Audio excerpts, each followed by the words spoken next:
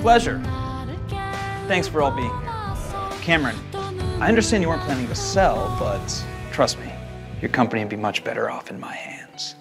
You're ambitious, but inexperienced. Under your lead, Knight Raider has plateaued. Are you with Eric? Are you?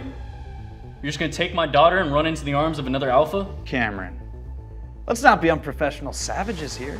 I think you're scaring my mate. You're what?